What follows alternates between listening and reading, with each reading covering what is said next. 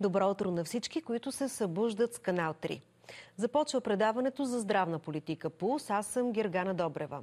Две са най-коментираните събития в сектора, а именно името на новия здравен министр Кирил Ананиев и парите за здраве, които народните представители приеха на първо четене.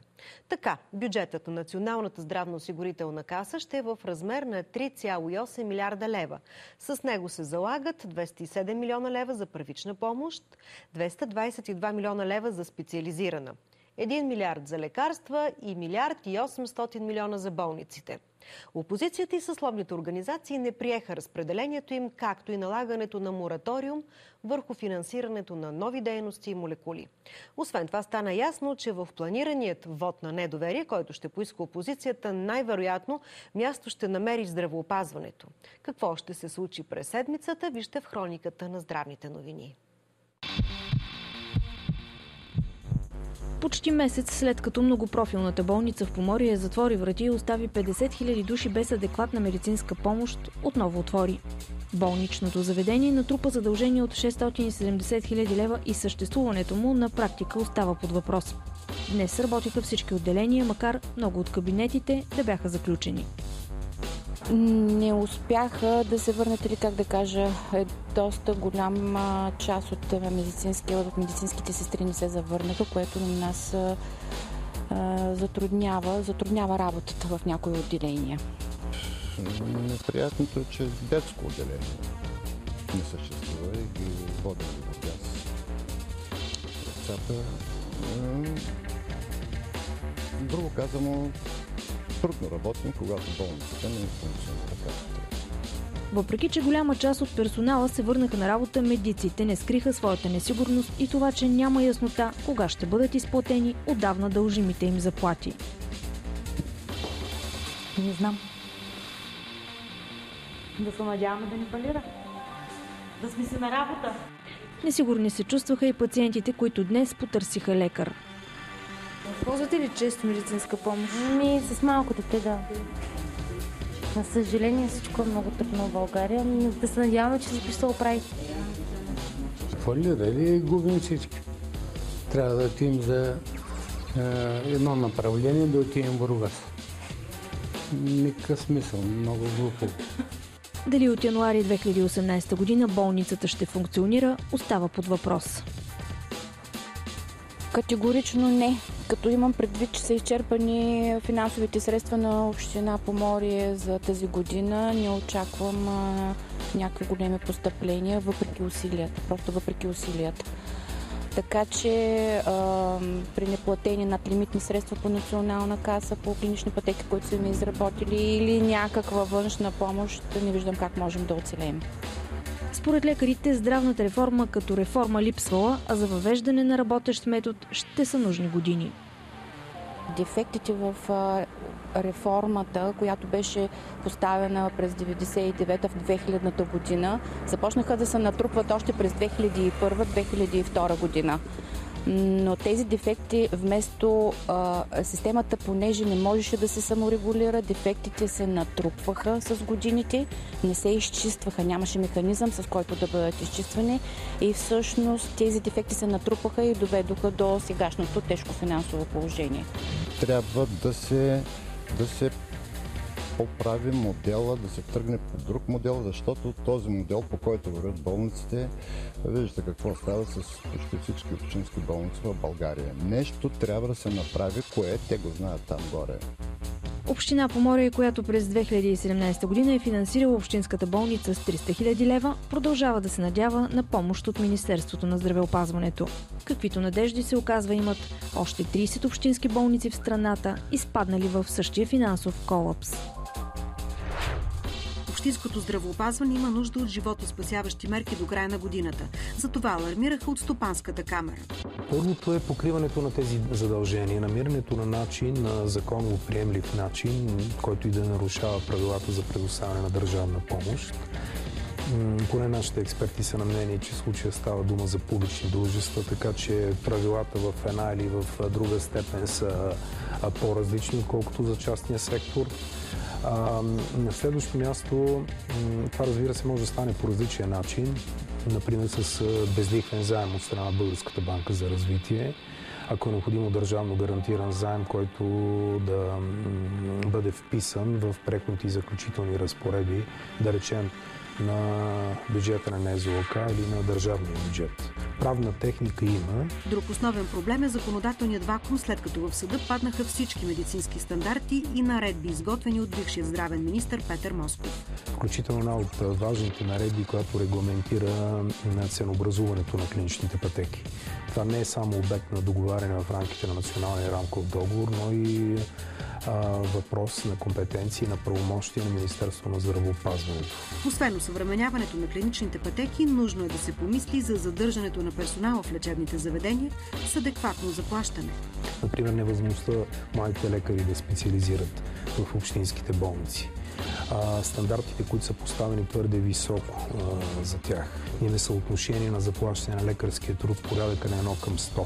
Това дори го няма в най-либералните економики, в Штатите, например, в други економики, които знаете, така ги изваждаме като пример на либерализиран пазар, включително на здравеопазването и здравните услуги. И поради така наречения клас време и вдигането на минималната заплата, вече в тези болници ние говорим за съотношение на заплащане, при които една санитарка, примерно с 20 годишен стаж, взима по-висока заплата от един млад лекар. Говорим за стартова заплата на млад лекар от 650 лева. Това трябва да го чуят и вашите зрители, ви казва и така по-широко да прозвучи в публичното пространство, няма как да очакваме не просто функциониране на тази система. Тя просто не може да функционира в този, по този начин и при тези съотношения на заплащане. Предстои да видим дали на следващото заседание на Тристранката темата ще бъде поставена на дневен ред и какво ще решат социалните партньори. Подобен мораториум се предлага за първи път и то е следствие от отменените национална здравна карта и наредбата за основния пакет дейности, които здравната каса заплаща. Затова директори на болници заявиха, че тези економии ще се окажат пагубни и за пациентите, но и за лекарите. Тази економия си има цена. И това е нелечението на български пациенти. Въвеждането, особено на новите молекули за лекуването на онкологично болните, не само спасява човешки живот, но и удължава преживеемостта на тези хора. За съжаление обаче това отново струва скъпо на каста. И този опит за рестрикции всъщност има много-много дълбоки морални пороци. Това е опит да не се продължи живота на хора, които имат нужда от това лечение. Не е само удар по пациентите, лишавайки го това нещо, това е удар и върху медиците. Нашите пациенти по силата на правилата за координация на системите за социална сигурност обаче имат право да поискат да бъдат лекувани в другите европейски държави с тези нови лекарства и с тези нови методи на лечение. И нашата здравна каса не може да откаже, защото това вече не зависи от вътрешните ни правила, а от правилата на целия Европейски съюз ние ще платиме същото лечение, само че няколко пъти по-скъпо и то ще бъде проведено в европейски болници и в лечебни заведения в страни от Европейския съюз. Рискуваме с а, нашия натиск по отношение да не се приемат глупави решения, да влезем в рубриката, че сме агенти на така наречената фармацевтичната мафия, но моля за категоричното разбиране, ние сме агенти на нашите пациенти. От Федерация Български пациентски форум също изразиха недоволство от забраната. Те изпратиха отворено писмо до медии и политици, в което попитаха как здравната каса подписа смъртната присъда на редица българи.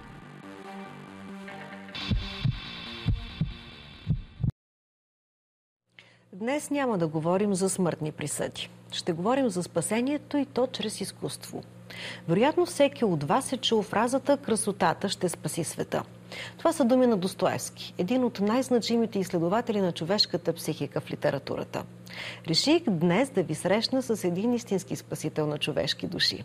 Дано националният консултант по психиатрия, началникът на клиниката по психиатрия на Александровска болница, професор Вихра Миланова, не се разсърди за този начин на представяне. Добро утро, професоре! Добро утро. За мен е чест наистина да гостувате, защото темата за проблемите, за психичните проблеми на хората, така сякаш някак остават а, скрити от обществото. Сторачваме се в унези другите, сериозните, както казват, тежни, тежки кардиологични случаи, а, смърт, инфаркт, инсулт. Да, обаче, наистина проблемите, психичните проблеми никак не са за подценяване и в този ред на мисли веднага искам да ви попитам, увеличават ли се случаите на хора с психични заболявания у нас?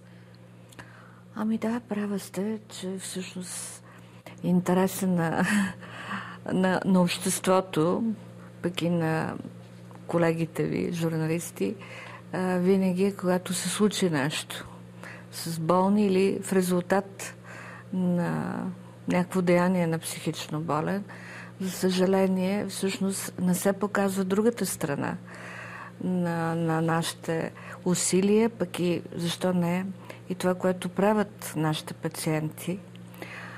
Психичните заболявания, и то тежките психични заболявания, те са една постоянна величина и м- така, независимо в коя точка на света, тяхната, така, тяхното разпространение е едно и също.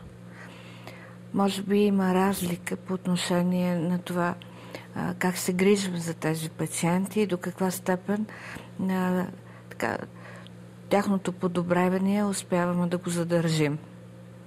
Да, наистина така е, но нека оставим сега сериозните, тежките психични заболявания. Искам днес да посветим разговора на депресиите, защото много по-често слушам мои близки и познати, които казват на въпрос мой как си, той казва бе нещо депресирано ми е вероятно от времето.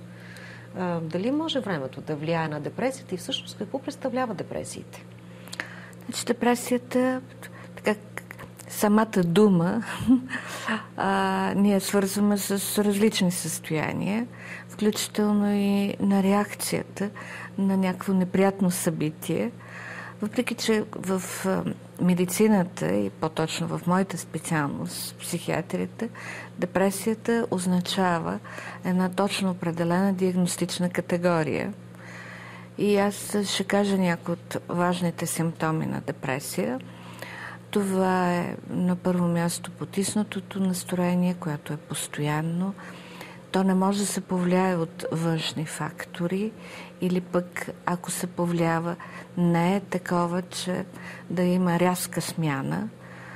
Друг основен симптом е липсата на преживяване за удоволствие, намалена енергия, липса на тонус, за желание, една колебливост, несигурност, много често има придружаване и такива важни симптоми, като, да кажем, сериозно нарушен сън, безсъние, липса на апетит и едно значимо редукция на тегло. Появяват се и мисли за безперспективност, безмислие на живота. И в един по, така, да кажем, напреднал етап от развитието на болестта, хората смятат, че няма смисъл да живеят. Това всъщност е депресия. Да, професор Миланова, вие казахте, че а, страничните фактори не са много определящи, но аз се чудя дали наистина есента пък не провокира и задълбочаване на тези състояния в хората, на които вече са им поставили такава диагноз. А, значи в така, нашите географски ширини сезона има голямо значение за развитието на депресии и на всичко, което се отразява на, на настроението. И действително пролет и есен има едно обострене на тия състояния. А, то е свързано с това, че се скъсява дена и се намалява светлината. И особено тия преходни сезони се отразяват на настроението на тонуса. И в тези сезони нараства броя на хората, които боледуват от депресия и ние затова казваме, че има периодичност, която се обостря в тия сезони. Да кажем, сезона ноември, декември, март, април, преходните сезони. Да, значи сега е момента наистина, когато вие вероятно ще имат още повече пациенти, такива, които ще дойдат притеснени при вас. А, така като се готвих по темата, попаднах на а, един такъв текст, че в скандинавските страни лекували а, това състояние с много силна светлина. Дали в нас се прилага у нас такова, такъв тип терапия? А, да, действително, тя се прилага от много години. Това е, лечение с, с светлина, както ви казах, с скъсяването на дена и светлината намалява. И особено това е изразено в, на северните страни, е, които проблема с депресията е много сериозен. Там действително с скъсяването на дена и на практика, особено много на север, те имат по един-два часа светлина. И както е известно, навсякъде, където влезете, има луминесцентно осветление. Това не е случайно. Защото луминесцентната светлина е много близка до дневната светлина и това излагане на светлината е достатъчно, за да замести частично поне дневната светлина. В, при нас също така. Има такъв метод на лечение, т.е. Ние го прилагаме а, и успешен, да. Това е много хубаво, че успявате да помагате така на хората. Добре, професор Миланова, медицината обаче открила ли е унази причина, която води до депресия? Защото хубаво вие помагате, ама знае ли медицината как се разболява човек, защо така се случва. Тоест има ли някакъв профил на хората, които са заболели, дали са повече жени, дали са повече мъже. Трябва ли да си по-емоционален, за да реагира психиката ти по такъв начин? А, има ли депресия при деца? Значи, причините все още не са ясни. Може да говорим за фактори, които благоприятстват развитието на различни психични разстройства, включително и на депресия. От депресия боледуват всички, независимо от възрастовите групи, независимо от пол. Може би, така да се, ако се очертаят, има няколко периода от живота на човека, когато депресията може да се изяви по-често. Това е в периода на съзряване, значи в юношеството, в младата възраст и по-късно след 45-50 годишна възраст и в вече, значи това е в зрела възраст и в късна възраст след 65 годишна възраст. Жените боледуват по-често, може би един път и половина по-често от мъжете. А, така протичането на заболяването няма съществена разлика между двата пола. Децата също така боледуват, боледуват и малки деца. Така че болестта да, може да, да засегне различни възрастови групи. Това, което е важно да се знае, е, че има много методи и начини за повлияване на депресия. Депресията е лечимо заболяване и мога да кажа, че психиатрите през последните 20 години бележат един много голям напредък ние всички, които работиме в тази специалност и особено като мен дълги години, може да направим една така един преглед и да, да го кажем това определено, че няма нищо общо с а, преди да кажем депресията изобщо психичните заболявания с преди 15-20 години. Променена е не само облика, методите на лечение – отношението към пациентите, ако искате даже условията, в които тези хора се лекуват. И това е благодарение на по-доброто разбиране на тези заболяване и използването, особено на медикаменти, които в последните години даже имаше така един голям бум. Може да се каже 90-те години. Сега чакаме, дай Боже, още по-ново поколение медикаменти, което е насочено специално за лечение на депресии. Има с много по-малко нежелани лекарствени реакции, много по-бърз ефект и слава Богу, ако се вземат по-висока доза, няма този а, изход, както предишните поколения антидепресанти. И това мога да го кажа съвсем определено, че начинът на лечение е много по-хуманен и много голяма част от пациентите могат съвсем в началото да започнат лечение. Лечението може да бъде провеждано и в извън болница. Това е възможно, достъпно. Така че нещата са много положителни. А, бих казала много по-оптимистични. Мисля, че определено това нещо не е достигнало до хората. Да. Една голяма част не знаят или не са добре информирани, че такова лечение е възможно и то е ефективно. Така и професор Миланов, искам да ви попитам как може човек сам да разбере, че наистина има някакъв проблем, за да отиде да се срещне с специалист. Обикновено казвам, ами аз съм много натоварен, твърде много стрес имам в работата си, или го отдава на някакво друго хронично заболяване и вероятно много рядко се сеща, че наистина може да има сериозен проблем. Да, напълно сте права, че винаги се търси друго обяснение. Някакси се избягва реалността и такава каквато е ситуацията. Но всъщност, освен тези симптоми, които аз изброих, потиснато настроение, липса на тонус, желание, удоволствие от живота, нарушен сън, апетит и така нататък. А, значи, другото, което е съществено, което персистират по-дълго време, тези симптоми и нарушават ежедневното функциониране, това е един много сериозен сигнал – за това, че имат болесно състояние и е добре, препоръчително е да потърсят специалист, който да им помогне.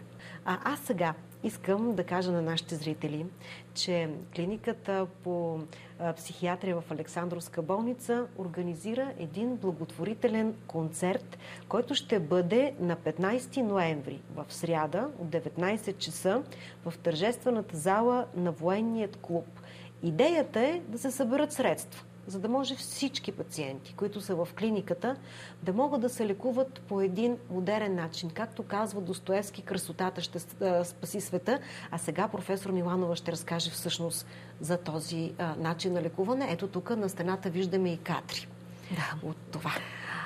А, действително в клиниката по психиатрия ние даваме възможност на нашите пациенти да участват в разнообразни програми, които са насочени към възстановяването им и по-бързото връщане в обществото. Това са различни програми, свързани, както ви казах, с, не само с разпознаване на болестта, а използване на техния ресурс. И една от тези методи е музикотерапията, Всъщност този концерт ще бъде посветен именно на това да съберем средства за закупуване на инструменти за нуждите на музикотерапията. И ние сме много горди, че имаме такава възможност нашите пациенти да бъдат включени с една прекрасна музикотерапевтка, Цветина Панайотова, която и тук е представена. Тя е една виртуозна цигуларка, която много добре се включи в нашите програми. Е, пациентите търсят. Тя има групови и индивидуални сесии с нашите пациенти. Наред с музикотерапия виждате колко много има изкуство, арт-терапия, различни видове, театрално ателие, други видове занимателна терапия – а, имат релаксираща терапия, пак отново с музика, социален клуб, изучават английски язик, спорт, театрално ателие и много други. Общо 14 на брой. Сърдечно много ви благодаря, професор Миланова, и на финала на нашия разговор. Но искам да ви попитам, има ли желание на младите медици да специализират наистина психиатрия? Ами ние сме една от малкото специалности, в които няма клинични пътеки. ние се финансираме по методика през бюджета, през Министерството на финансите и Министерството на здравопазването и а, получаваме пари спрямо броя на преминалите болни, както и много други области. И нашата е недофинансиране, при това хронично недофинансирана. А, така, младите колеги, Мога да ви кажа, че има прекрасни млади колеги. Те учат психиатрия в последния курс. Правим впечатление, че има много голям интерес. Една малка част, разбира се, решават да продължат да се обучават, да специализират психиатрия. Специално за нашата клиника имаме желаящи. Така и аз съм много горда да кажа и щастлива, че има млади хора. Към настоящия момент имаме 6 души, които се обучават. Разбира се, това не е навсякъде. самата наредба за специализация също така ограничава и не дава възможност всички, които желаят да се учат и по-нататък, разбира се, да се доквалифицират и да продължат. Що се отнася за специалността ни психиатрия, в целия свет има отлив. Защото това е една дисциплина, която изиска много усилия. Както виждате, и доста рискове крие. Така че желаящите горе-долу, може да се каже, че няма по света много. И какво по-добре от това готов специалист да отиде в чужбина да работи. Да, с заплащане много по-голямо, да. отколкото българските специалисти. Така че аз призовавам и нашите млади лекари те да останат да, се, да работят. В психиатрията има много голямо бъдеще и голямо удовлетворение. Сърдечно ви благодаря за този разговор. А така се разделяме до утре отново в 9 сутринта. Ще говорим за парите за здраве, за какво ще има и за какво няма да стигне. Ще говори Българският лекарски съюз. Не пропускайте срещата. Чудесен ден от мен.